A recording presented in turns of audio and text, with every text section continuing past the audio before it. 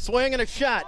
Down the line, right field. That ball is off the fence. This might be three for Palumbo. She's around second, and she is going to be in there with a stand up triple.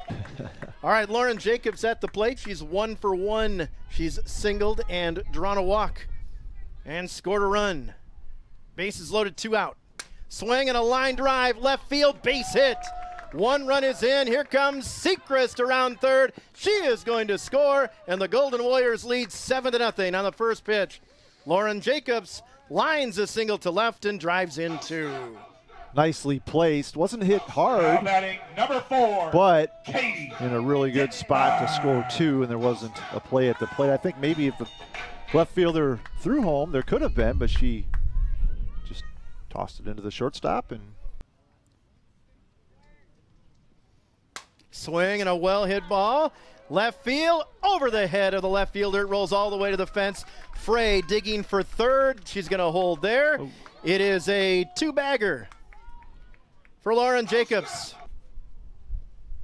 Swing and a line drive into left field for a base hit.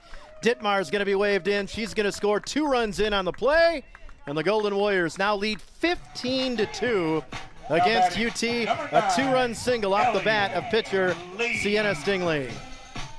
And speaking of Sting, that one sounded really good coming off her bat. Smoked it into left. Two runs score. Sterling has scored four in the inning to make it 15 to 2. Sullivan's going to come in and courtesy run for Stingley. Stingley with three runs batted in on the day.